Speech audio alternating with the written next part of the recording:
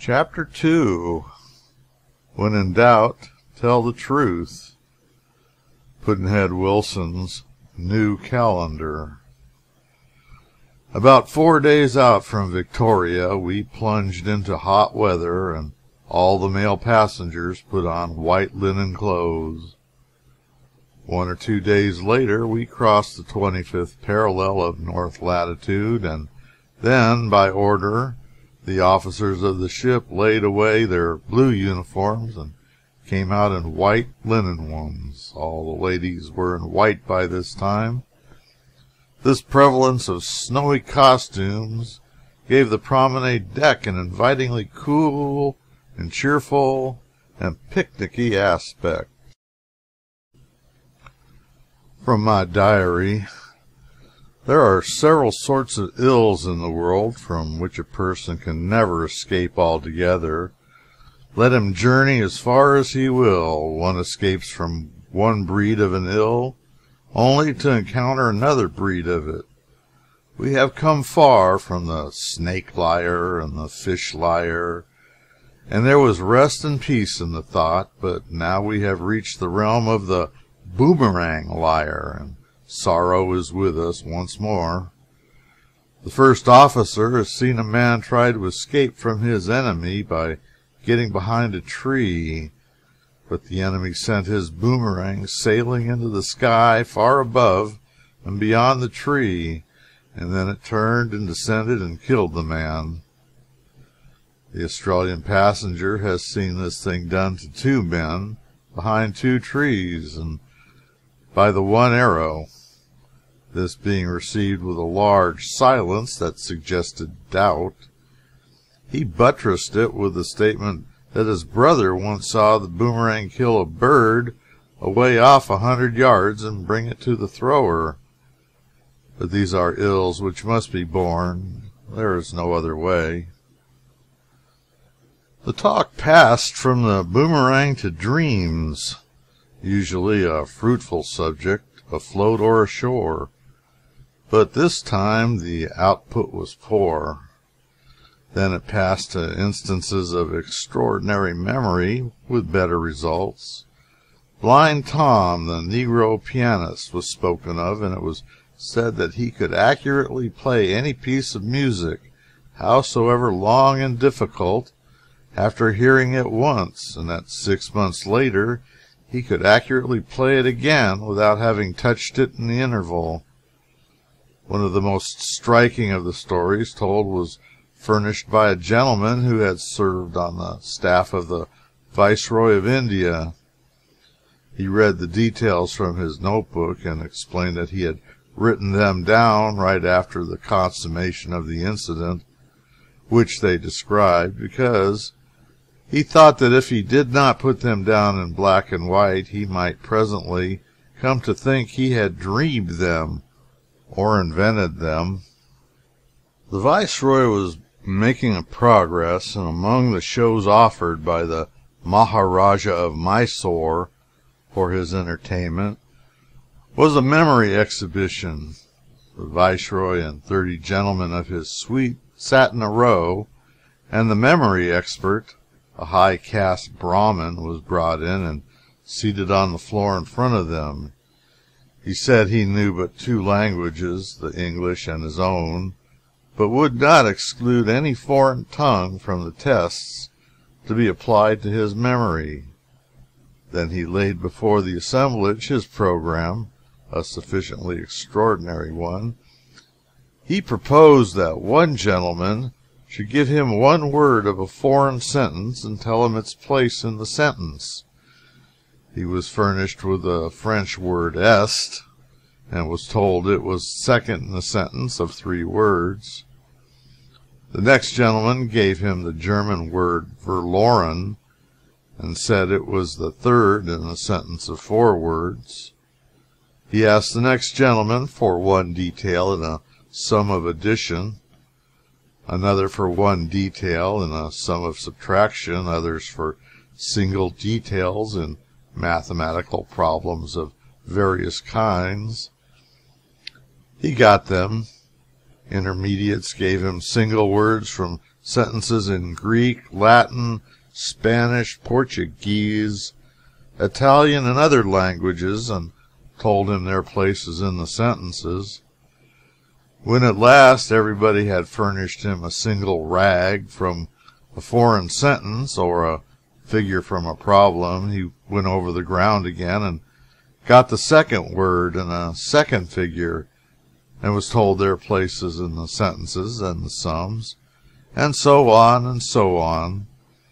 He went over the ground again and again until he had collected all the parts of the sums and all the parts of the sentences, and all in disorder, of course not in their proper rotation.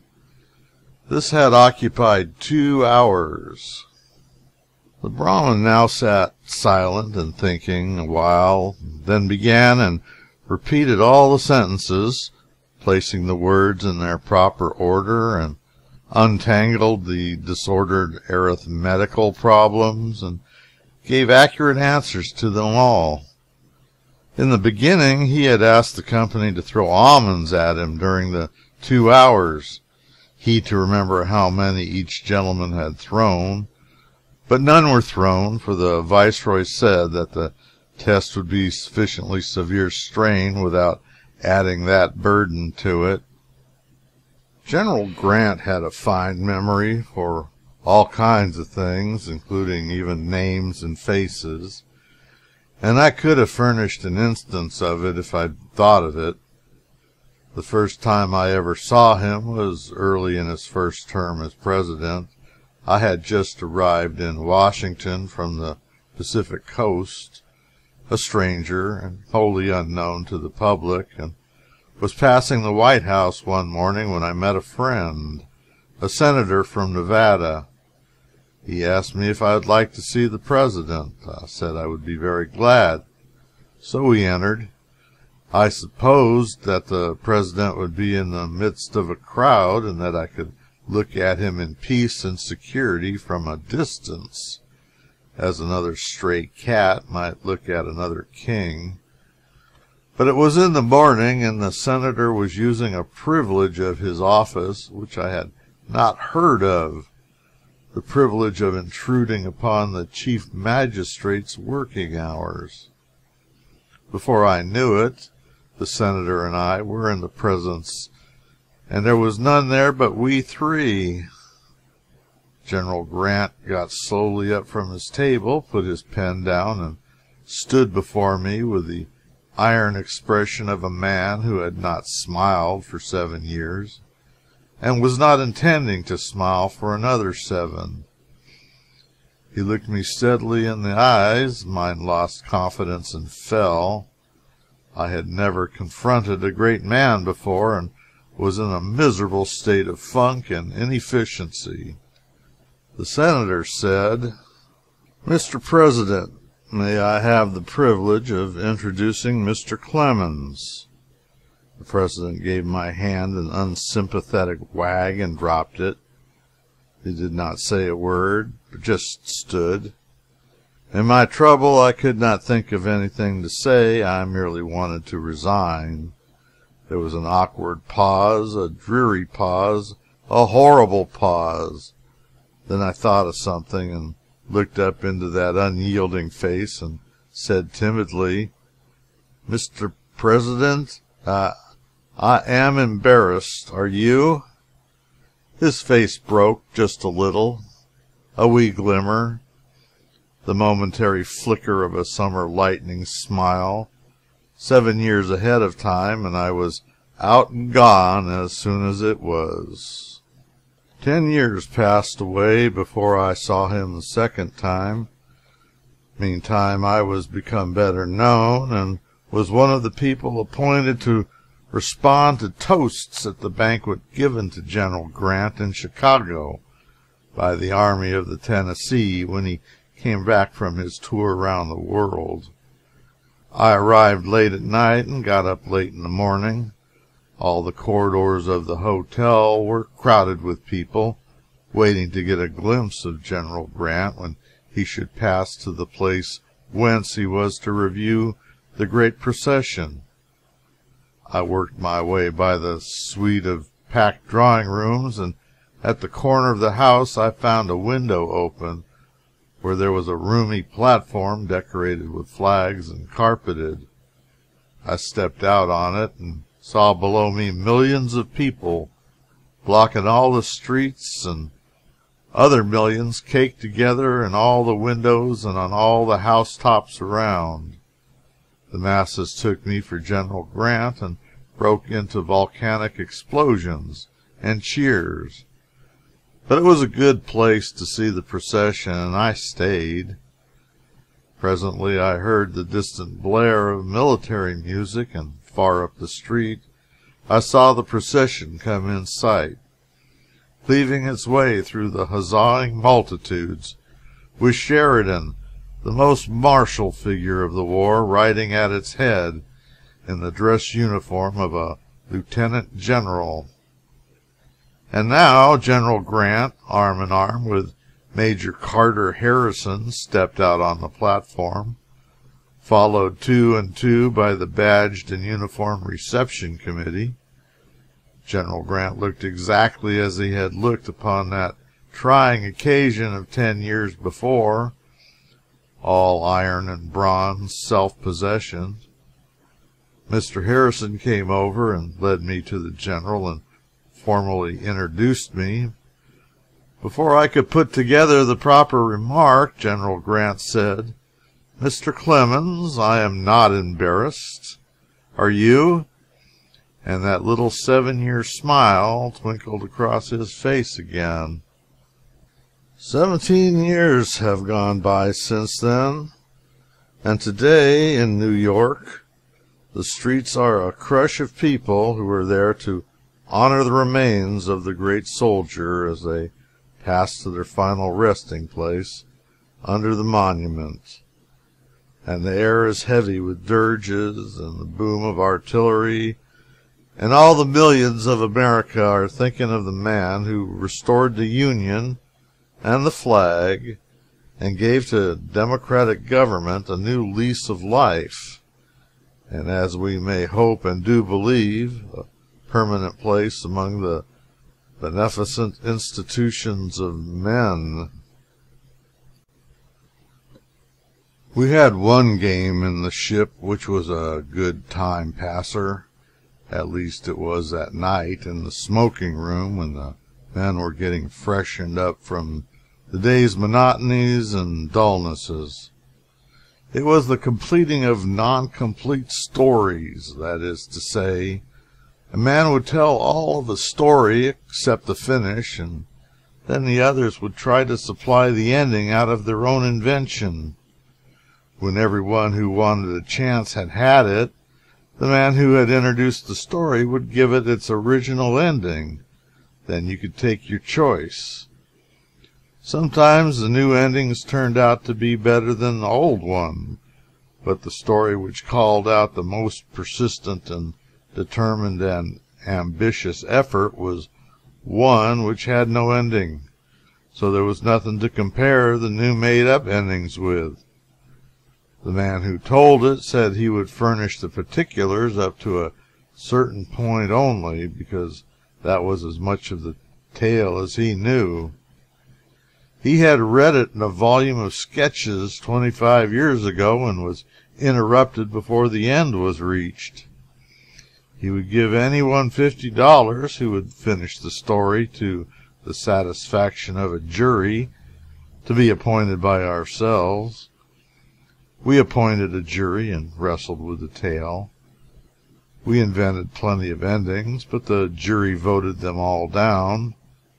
The jury was right. It was a tale which the author of it may possibly have completed satisfactorily, and if he really had that good fortune I would like to know what the ending was.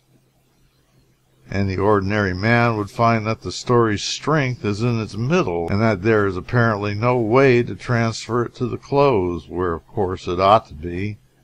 In substance, the story was as follows. John Brown, age 31, good, gentle, bashful, timid, lived in a quiet village in Missouri. He was superintendent of the Presbyterian Sunday School. It was but a humble distinction. Still, it was his only official one, and he was modestly proud of it and was devoted to its work and its interests. The extreme kindliness of his nature was recognized by all. In fact, people said that he was made entirely out of good impulses and bashfulness, that he could always be counted upon for help when it was needed, and for bashfulness both when it was needed and when it wasn't. Mary Taylor, twenty three, modest, sweet, winning, and in character and person beautiful, was all in all to him, and he was very nearly all in all to her. She was wavering. His hopes were high. Her mother had been in opposition from the first, but she was wavering too. He could see it. She was being touched by his warm interest in her two charity proteges and by his contributions towards their support. These were two forlorn and aged sisters who had lived in a log hut in a lonely place up a cross road four miles from Mrs. Taylor's farm. One of the sisters was crazy and sometimes a little violent, but not often. At last the time seemed right for a final advance, and Brown gathered his courage together and resolved to make it. He would take along a contribution of double the usual size and win the mother over. With her opposition annulled, the rest of the conquest would be sure and prompt. He took to the road in the middle of a placid Sunday afternoon in the soft Missourian summer and he was equipped properly for his mission. He was clothed all in white linen, with a blue ribbon for a necktie, and he had dressy tight boots. His horse and buggy were the finest that the livery stable could furnish. The lap robe was of white linen. It was new, and it had a hand worked border that could not be rivaled in that region for beauty and elaboration. When he was four miles out on the lonely road and was walking his horse over a wooden bridge, his straw hat blew off and fell in the creek, floated down and lodged against a bar. He did not quite know what to do. He must have the hat, that was manifest, but how was he to get it? Then he had an idea. The roads were empty, Nobody was stirring. Yes, he would risk it. He led the horse to the roadside and set it to cropping the grass. Then he undressed and put his clothes in the buggy, petted the horse a moment to secure its compassion and its loyalty, then hurried to the stream. He swam out and soon had the hat. When he got to the top of the bank, the horse was gone. His legs almost gave away under him. The horse was walking leisurely along the road. Brown trotted after it, saying, Whoa, whoa, there's a good fellow. But whenever he got near enough to chance a jump for the buggy, the horse quickened its pace a little and defeated him. And so this went on, the naked man perishing with anxiety and expecting every moment to see people come in sight. He tagged on and on, imploring the horse, beseeching the horse, till he had left a mile behind him and was closing up on the Taylor premises. Then at last he was successful, and he got into the buggy. He flung on his shirt, his necktie, and his coat, then reached for but he was too late. He sat suddenly down and pulled up the lap robe, for he saw someone coming out of the gate a woman, he thought. He wheeled the horse to the left and struck briskly up the cross road. It was perfectly straight and exposed on both sides, but there were woods and a sharp turn three miles ahead. and He was very grateful when he got there, and as he passed around the turn he slowed down to a walk and reached for his truck. Too late again. He had come upon Mrs. Enderby, Mrs. Glossop, Mrs. Taylor, and Mary. They were on foot, and seemed tired and excited. They came at once to the buggy and shook hands, and spoke all at once, and said eagerly and earnestly how glad they were that he was come, and how fortunate it was. And Mrs. Enderby said impressively: "It looks like an accident, his coming at such a time, but let no one profane it with such a name. He was sent sent from on high." They were all moved, and Mrs. Glossop said in an awed voice: "Sarah Enderby, you never said a truer word in your life. This is no accident this is a special providence. He was sent. He is an angel an angel as truly as ever angel was an angel of deliverance. I say angel, Sarah Enderby, and I will have no other word. Don't let any one ever say to me again that there's no such thing as special providences, for if this isn't one, let them account for it that can." "I know it's so," said Mrs. Taylor, fervently. "John Brown, I could worship you I could go down on my knees to you. Didn't something tell you didn't you feel that you were sent? I could kiss the hem of your lap robe." He was not able to speak. He was helpless with shame and fright. Mrs. Taylor went on: "Why, just look at it all around, Julia Glossop. Any person can see the hand of Providence in it. Here at noon what do we see? We see the smoke rising. I speak up and say. That's the old people's cabin afire, didn't I, Julia Glossop? The very words you said, Nancy Taylor.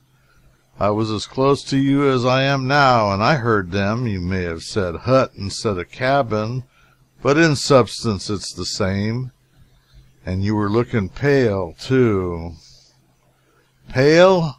I was that pale that if why, you just compare it with this lap robe. Then the next thing I said was, "Mary Taylor, tell the hired man to rig up the team and we'll go to the rescue."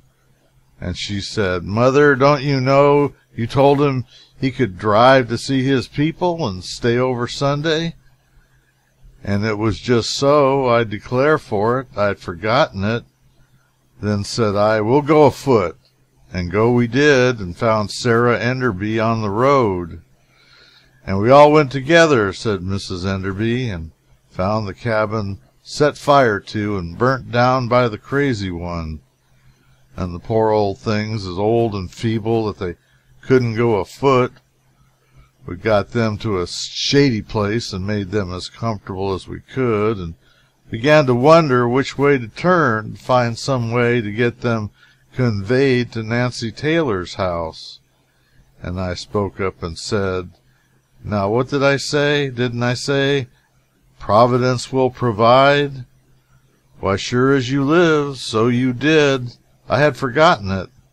"So had I," said Mrs. Glossop and Mrs. Taylor, "but you certainly said it. Now wasn't that remarkable?" "Yes, I said it. And then we went to Mr. Moseley's, and two miles and all of them were gone to the camp meeting over on Stony Fork. And then we came all the way back, two miles, and then here another mile, and Providence has provided. You see it yourselves." They gazed at each other, awestruck, and lifted their hands and said in unison, "It's perfectly wonderful." And then said Mrs. Glossop, "What do you think we'd better do?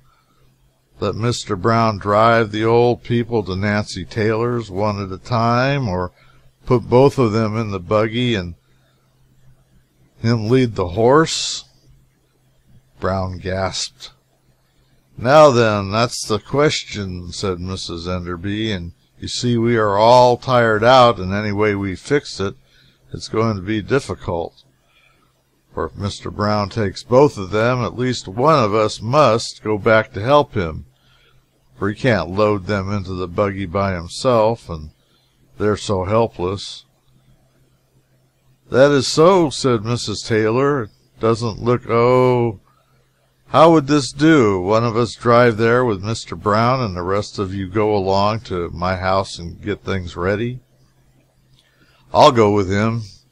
He and I together can lift one of the old people into the buggy and drive her to my house, and But who will take care of the other one? said Mrs. Enderby.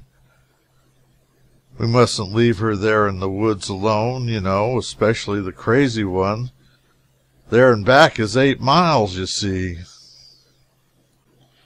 They had all been sitting on the grass beside the buggy for a while now, trying to rest their weary bodies. They fell silent a moment or two and struggled in thought over the baffling situation. Then Mrs. Enderby brightened and said, I think I've got the idea now. You see, we can't walk any more. Think what we've done. Four miles there, two to Moseley's is six, and then back here nine miles since noon, and not a bite to eat. I declare I don't see how we've done it, and as for me, I am just famishing. Now somebody's got to go back to help Mr. Brown. There's no getting around that, but whoever goes has got to ride, not walk. So my idea is this one of us to ride back with Mr. Brown, then ride to Nancy Taylor's house with one of the old people, leaving Mr. Brown to keep the other old one company. You all to go now to Nancy's and rest and wait, and one of you drive back and get the other one, and drive her to Nancy's, and Mr. Brown walk. Splendid, they all cried. Oh, that will do. That will answer. That will answer perfectly. And they all said that Mrs. Enderby had the best head for planning in the company, and they said that they wondered that they hadn't thought of this simple plan themselves. They hadn't meant to take back the compliment, good simple souls, and didn't know they had done it. After a consultation, it was decided that Mrs. Enderby should drive back with Brown, she being entitled to the distinction because she had invented the plan. Everything now being satisfactorily arranged and settled, the ladies rose, relieved and happy, and brushed down their gowns. Three of them started homeward. Mrs. Enderby set her foot on the buggy step and was about to climb in when Brown found a remnant of his voice and gasped out, Please, Mrs. Enderby, call them back. I'm very weak. I can't walk. I can't indeed. Why, dear Mr. Brown, you do look pale. I'm ashamed of myself that I didn't notice it sooner. Come back, all of you. Mr. Brown is not well. Is there anything I can do for you, Mr. Brown? I'm real sorry. Are you in pain?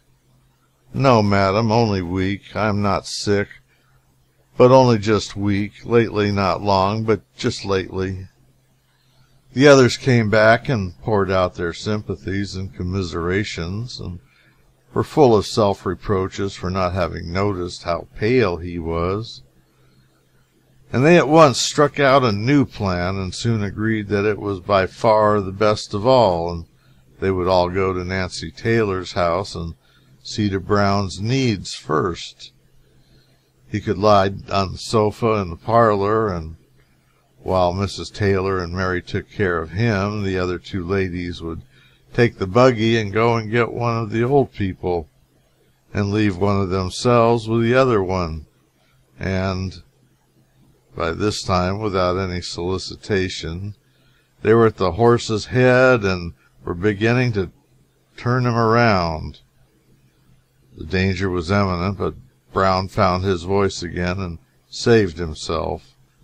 He said, But, ladies, you are overlooking something which makes the plan impracticable. You see, if you bring one of them home and one remains behind with the other, there will be three persons there when one of you comes back for the other, for some one must drive the buggy back, and three can't come home in it."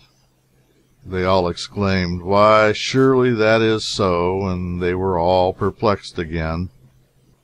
"Dear, dear, what can we do?" said Mrs. Glossop.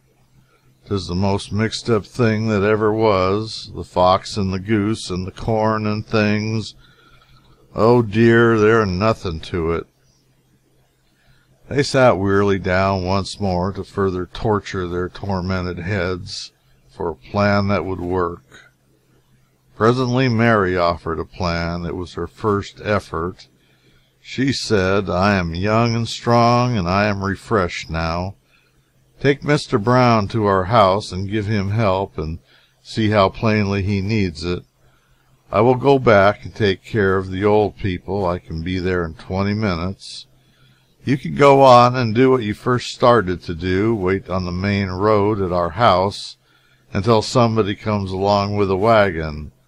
Then send and bring away the three of us. You won't have to wait long. The farmers will soon be coming back from town, now. I will keep old Polly patient and cheered up. The crazy one doesn't need it." This plan was discussed and accepted. It seemed the best that could be done in the circumstances, and the old people must be getting discouraged by this time. Brown felt relieved and was deeply thankful. Let him once get to the main road and he would find a way to escape. Then Mrs. Taylor said, "The evening chill will be coming on pretty soon, and those poor old burnt out things will need some kind of covering. Take the lap robe with you, dear." "Very well, mother, I will." She stepped to the buggy, put her hand out to take it. That was the end of the tale. Passenger who told it said that when he read the story, twenty five years ago, in a train, he was interrupted at that point. The train jumped off a bridge. At first we thought we could finish the story quite easily, and we set to work with confidence, but it soon began to appear that it was not a simple thing, but difficult and baffling. This was on account of Brown's character great generosity and kindliness, but complicated with unusual shyness and diffidence, particularly in the presence of ladies. There was his love for Mary, in a hopeful state, but not yet secure, just in a condition indeed where its affair must be handled with great tact and no mistakes made no offense given. And there was the mother, wavering, half willing by adroit and flawless diplomacy to be won over, now or perhaps never at all. Also, there were the helpless old people yonder in the woods waiting their fate, and Brown's happiness to be determined by what Brown should do within the next two seconds. Mary was reaching for the lap robe. Brown must decide. There was no time to be lost. Of course, none but a happy ending of the story would be accepted by the jury. The finish must find Brown in high credit with the ladies, his behavior without blemish, his modesty unwounded, his character for self sacrifice maintained, the old people rescued through him, their benefactor and all the party proud of him, happy in him, his praises on all their tongues. We tried to arrange this, but it was beset with persistent and irreconcilable difficulties. We saw that Brown's shyness would not allow him to give up the lap robe. This would offend Mary and her mother, and it would surprise the other ladies because this stinginess towards the suffering old people would be out of character with Brown, and partly because he was a special providence and could not properly act so. If asked to explain his conduct, his shyness would not allow him to tell the truth. and lack of invention and practice would find him incapable of contriving a lie that would wash. We worked at the troublesome problem until three in the morning. Meantime Mary was still reaching for the lap robe. We gave it up and decided to let her continue to reach. It is the reader's privilege to determine for himself how the thing came out.